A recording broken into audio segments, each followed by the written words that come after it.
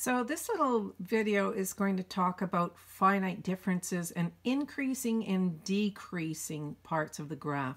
Also, um, usually this is introduced in grade 12 and we talk about it in terms of increasing and decreasing intervals for the function. So let's take a look at the ones that you would have been given in your homework, starting with a linear function. So if we take a look at the, the line y equals x, it looks like this, right? This is basic stuff. Minus 2, minus 2, minus 1, minus 1, 0, 0, 1, 1, 2, 2. You graph it, you put arrows on the end of it. Um, the domain is x is an element of real numbers. The range is x is y is an element of real numbers because you can plug in any value for x and obviously get an answer for y. Now, is it an increasing or decreasing function? So increasing functions, increasing means that as you go from left to right, and this is by convention, so as I go from here, for x is minus 3, I'm at 3, minus 3, minus 2, minus 1, so it's going up by 1, and you should know that because the slope of the line is 1. So as we go from left to right, the function increases. Remember to read the graph from left to right. Don't start going this way and say, oh, but it goes down here. No, as you come this way, you're reading the graph this way, it's increasing. So this function is increasing for all values of x. So for x is an element of real numbers. It's increasing all the time. What are the finite differences for this? Well, the finite differences, some people get this all mixed up because you were told to subtract the y's, and you may make the mistake of subtracting them the wrong way. Basically, what it means is that if y, when I go from x is minus 2 to minus 1, what happened to the function here? Well, I added 1. I went up 1. See, minus 2 to minus 1, that's up 1. Or easier, and this is where the subtracting comes in, you take this last number and subtract it. So 2 minus 1 is 1. 1 minus 0 is 1. 0 minus minus 1 is 1. And minus 1 minus minus 2 is 1. And all the differences are already 1. So that means it's linear. When they're all the same, you stop.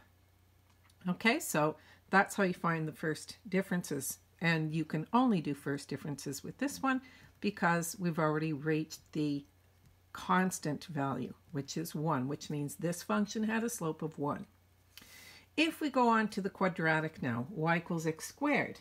The domain, x is an element of real numbers. You know that because you can plug in any value for x and get an answer for y.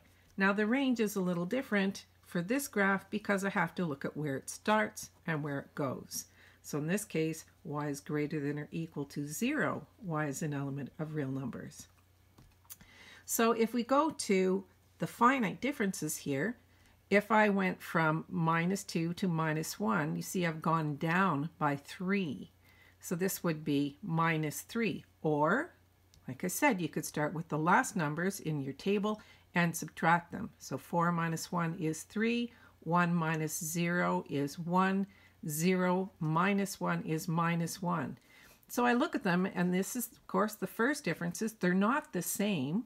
And they're not supposed to be, right? Because it's quadratic. Quadratics mean the second differences will be the same. So let's try again.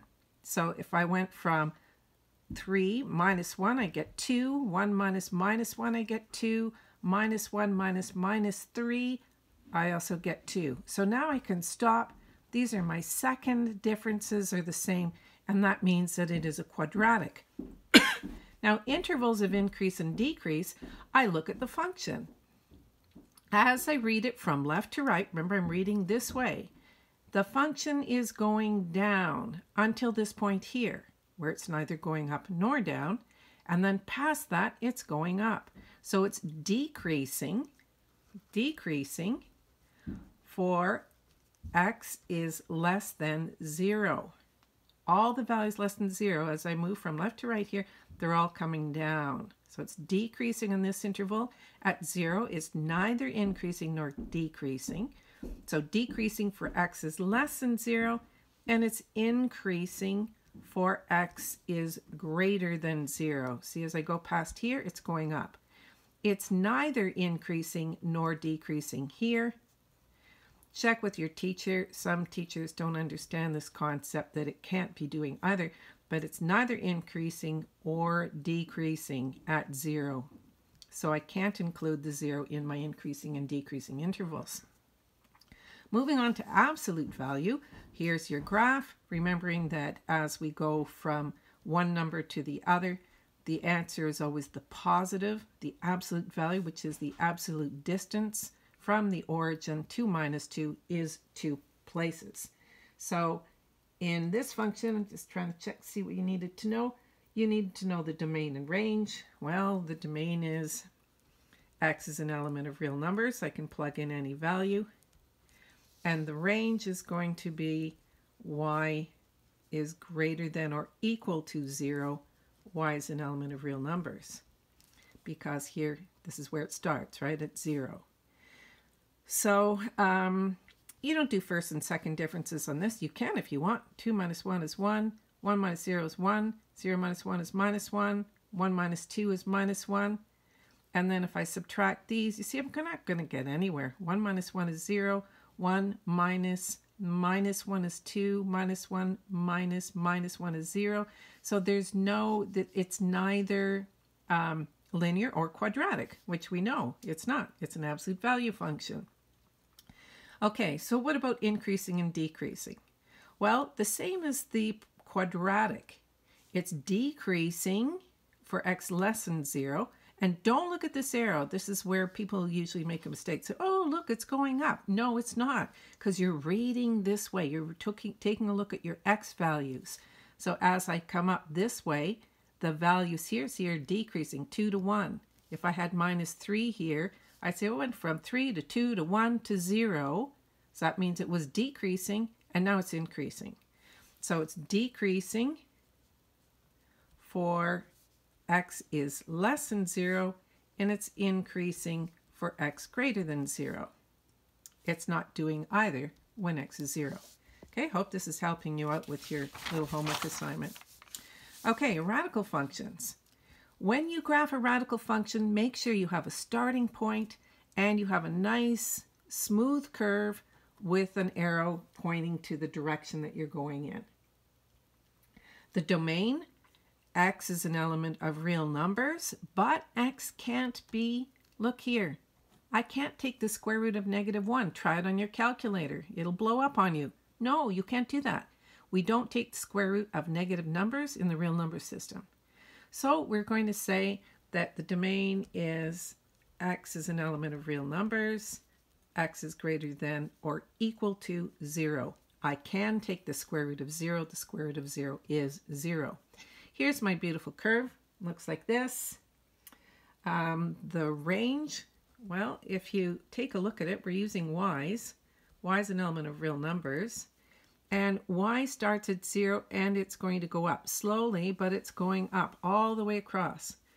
So if I took the square root of a really, really big number, like a 100 million, I would get a really high number, right? So this is y is greater than or equal to zero, just like the x's. Here's my table of values. There's no significance to the uh, first or second differences on this. That only applies to functions with degree of 1, 2, 3, 4, that sort of thing, linear, quadratic, cubic. Okay, so what about increasing intervals? Is this function increasing as I go from left to right? Absolutely. It's increasing, increasing for x is greater than or equal to 0. It doesn't exist anywhere else, so it's increasing for all values of the domain. It's going up. Okay, so that's, uh, that's your radical function. A cubic function looks like this. This is also not part of the grade 11 curriculum, but it doesn't hurt you to know things a little more difficult. So just like with linear quadratic functions, the domain is real numbers. I can put in anything for x and get an answer for y. As you can see, I can put in, the domain goes everywhere, and the range also goes everywhere. So range is y is an element of real numbers. Goes everywhere. The first difference is here. Now remember, we could start this way. We could say I went from minus 8 to minus 1, so that means I went up 7. Or you could start this way, go backwards. 8 minus 1 is 7. 1 minus 0, this is probably easier, right? 1 minus 0 is 1. 0 minus minus 1 is 2. Minus 1 minus minus 8 is 7. So I have 7, 1, 2, 7. Well, that's not linear, obviously. Let's take a second difference. 7 minus 1 is 6. 1 minus 2 is minus 1. 2 minus 7 is minus 5. Still not a constant. 6 minus minus 1. 6 minus minus 1. That means I'm adding them. I get 7. And minus 1 minus minus 5 is 4. What's going on here? This isn't the second difference. Let's do this again. 8 minus 1 is 7. 1 minus 0 is 1. 0 minus 1, oh, why did I say 2? 0 minus minus 1 is 1.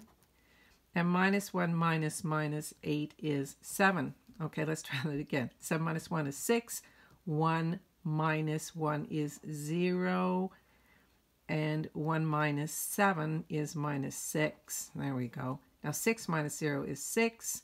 And 0 minus minus 6 is 6. I knew that had to be true because that means that the third differences must be constant because it's cubic degree of 3. So x to the power of 3, that means cubic, right?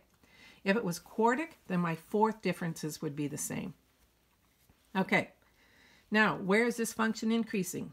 It's increasing for all values of x because as I come from the left, remember, don't look at this arrow, just look at what's happening. We're going up everywhere. So it's increasing for x is an element of real numbers. All x's. Now you might use interval notation in grade 12. Um, I'm not going to introduce that here because it's not part of the grade 11 curriculum at all. Reciprocal function, 1 over x. Okay, so this one is probably one of the more difficult functions, but you should know how to graph it by now. If not, take a look at my parent function video. I'll put the link to that as well. Um, I did quite an extensive explanation on how to graph um, how to graph a reciprocal function.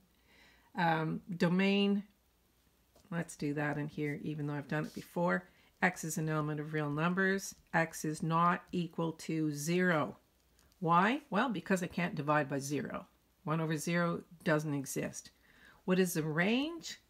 Well, y is an element of real numbers, and this time y is not equal to 0. Why not? Well, if you think about it, as I put in really, really large numbers here, 1 over 100 million is a very small number, but it never becomes 0. So that's why we have these two asymptotes for the function, uh, the reciprocal function. Okay? So uh, where is it increasing and decreasing? Take a look. I'm start here. Are my numbers going up or down? Obviously they're going down. When I flip to the other side of the asymptote, am I going up or down? I'm going down. So it's de decreasing